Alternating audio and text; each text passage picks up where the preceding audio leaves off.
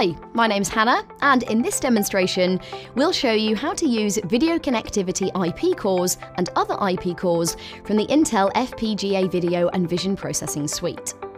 Specifically, we'll explain how you can use SDI and clocked video FPGA IP cores to create your own Genlock design for applications where deterministic synchronization between video signals is a key requirement. The Video and Vision Processing Suite offers many highly optimized IP cores for generating, routing, and managing video timing and control signals. These IP cores are used to provide a control loop system to lock receiver and transmitter pixel clocks to avoid any drifting or rolling effects on the output video stream. If you can't lock input and output clocks in order to maintain synchronization between video signals, you have to use some form of video buffering. This introduces additional delay, dropped or repeated frames, as well as resource, power, and memory bandwidth requirements. There are many applications where precise alignment and timing between video sources is essential, and therefore Genlock is a key requirement, such as virtual studios, where synchronization between cameras and computer generated graphics is needed to create realistic fused streams. Medical surgical robotics, where small, precise, and deterministic latency between camera input and video output is a crucial requirement for patient safety. Broadcasting and multi camera productions, where multiple sources, such as cameras, playback devices, and graphic generators, need to be in perfect synchronization to deliver a seamless viewing experience video walls and display installations, where multi-display setup requires precise synchronization for seamless video content consistency.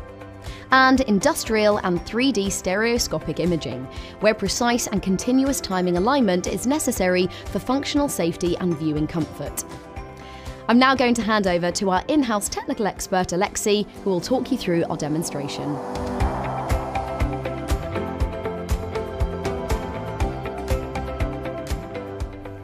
In general, there are two ways to implement video genlock.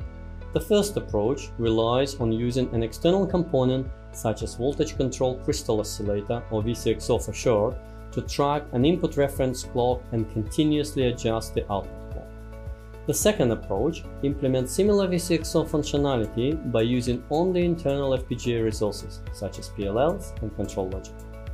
This approach is often beneficial due to the lower PCB design and component cost.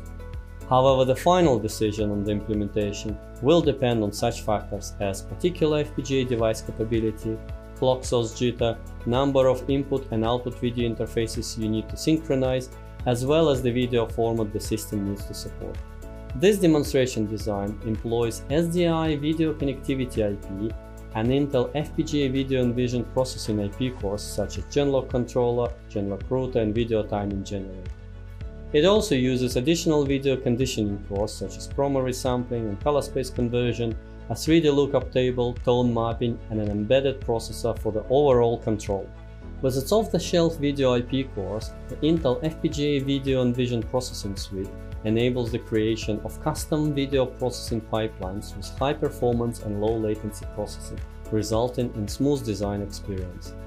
All the IP cores can be instantiated on every device available in Quartus Pro design suite, such as Intel Cyclone 10 GX, Arria 10, Stratix 10, and Agilex FPGAs. In this demonstration, we have a video generator and stream analyzer outputting and receiving video over the SDI interface to Intel Agilex 7i series SoC development kit through the Nextera 12G SDI daughter card, which is connected via an FMC port. We also have a monitor and a laptop connected to the board via the JTAG interface to control IP parameters via the terminal window. In this video processing pipeline configured on the Agilex 7 SoC dev kit, the video stream is ingested from the generator via an off-the-shelf Intel SDI IP core which supports any resolution, frame rate or color space. Chroma resampling and color space conversion are used to precondition the video stream to a common color format and color space, and the protocol converter IP translate the video from the full to lite variant of the Intel FPGA video streaming protocol, which runs on the AXI4 streaming standard. The 3D lookup table and tone mapping IP cores process the video stream in real time without buffering. The stream is converted back from the lite to full variant of the Intel FPGA video streaming protocol before being output via SDI to a receiving device. The video pipeline for this example design is driven by three asynchronous clocks. The first one is the input pixel clock, 148.5 MHz, which is generated directly on the SDI FMC card.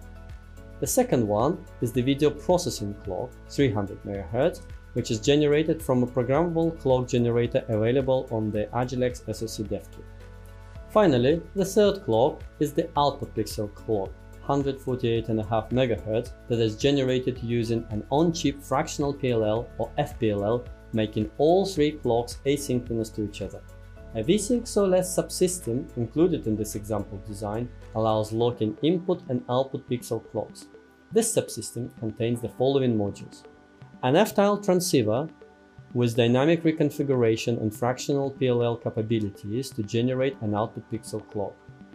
A phase frequency detector or PFD and a PAD LPF controller to measure the difference between the input and output pixel clocks to generate a control word that allows tracking or locking the phase of the output pixel clock relative to the input pixel clock. A set of debug control registers to diagnose the status of the video system. This example design allows you to enable and disable the Genlock mode via a control terminal interface. By default, this example design has a Genlock mode enabled, allowing to display a stable output video stream on a monitor. When a Genlock mode is enabled, you can press the C key to see the current frequency values for the input and output pixel clocks, as well as the difference between those two clocks. In this mode, the frequency difference would be around plus minus 2 Hz. You can also disable the Genlock mode. This can be achieved by pressing the F key. This effectively disables the Genlock mode and let the system work in a free running mode, where drifting and rolling effect on the output video stream is visually noticeable as the processing video pipeline does not have a frame buffer on it. Again, you can press the C key to see the frequency difference between the input and output pixel clocks, which in this case is expected to fluctuate as the two clocks are not synchronous. To get back to a Genlock mode, press G again. A video streaming FIFO IP is used to provide a small on-chip line buffer capabilities to control the latency between input and output. The control range depends on the video resolution and FIFO size. In this example design, for a 4K 60 stream, you can set the Genlock latency to be between 1 and 6 video lines. By default, this example design is configured to Genlock the system with approximately 1.5 line delay between input and output. However, it is possible to increase or decrease the latency on the fly by pressing P and O keys respectively. Please keep in mind that when the set latency between input and output falls outside the allowed range, the video system will lose synchronization. To allow the system to be fully synchronous, the latency should be brought back to the legal range. As explained earlier, a similar Genlock functionality can be achieved by using external off-the-shelf components. So, in addition to this VCXO-less design, we have also released similar but slightly simplified example design, which uses an external VCXO component to actively track input and adjust the output clock. Instead of the VCXO-less subsystem, it uses a generic crosspoint IP to route field, vertical, and horizontal timing signals coming from the SDI-RX to drive the external VCXO chip. The external VCXO generates a 27 MHz clock, which is then used by an ultra-low jitter clock generator to produce an output pixel clock that is phase-locked or gen-locked with the input pixel clock. Both external VCXO and output clock generator are already available as part of the Nextera 12G SDI FMC card used in this example design.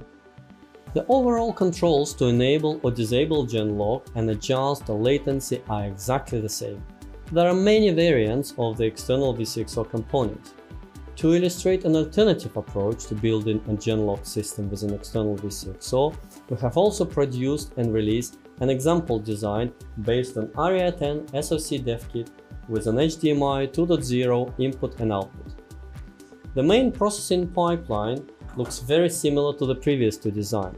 However, the video clock control system now looks slightly different. In this example design we have a clocked video to full raster converter IP, which converts from a clocked video format used by the HDMI RX IP to Intel FPGA streaming video full raster protocol. The full raster variant of the protocol allows carrying both active pixel data as well as timing information present in blanking and active region of the video frame. The Axis Stream Broadcast IP duplicates the full raster video stream and passes it to onto both the video processing pipeline as well as Genlock signal router. The video processing pipeline for this example design is composed of a clocked video input IP, chroma sampler, color space converter, tone mapper, a 3D lookup table, video FIFO, and clocked video output with an embedded video timing generator. A Genlock signal router generates video synchronization signals based on video timing markers derived from the input video stream. A Genlock controller IP, which is a control loop system that can be paired with external VCXO devices, such as Si516 in this case, with control voltage input capabilities. This IP takes input video RX clock and generate TX clock as input and output of PWM type signal that is proportional to the difference between RX and TX clock period caused by the clock drift.